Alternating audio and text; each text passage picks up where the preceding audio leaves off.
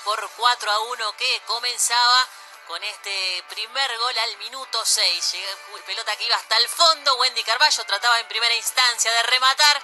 Después la pelota que le quedaba en soledad a Lucía Flores habilitada. Flores que marca el 1 a 0 cuando iban 6 minutos del partido. Pero Peñarol seguiría de largo al minuto 23. Encontraría con este golazo de la jugadora Farmashop del partido.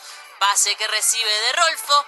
Carballo que se acomoda y que remata casi sin ángulo pero con muchísima potencia y dirección para vencer las manos de Pamela Silva y marcar el 2 a 0 parcial. Wanders en contra se ponía 1-2 y que se ilusionaba para la segunda mitad, pero seguiría viniendo los goles del Carbonero. Ya en la etapa complementaria, el pase atrás de Félix y Rolfo que se metería en diagonal hacia el área chica para conectar con esa pelota. Grandes bordes de Félix. Ahí está el pase hacia atrás.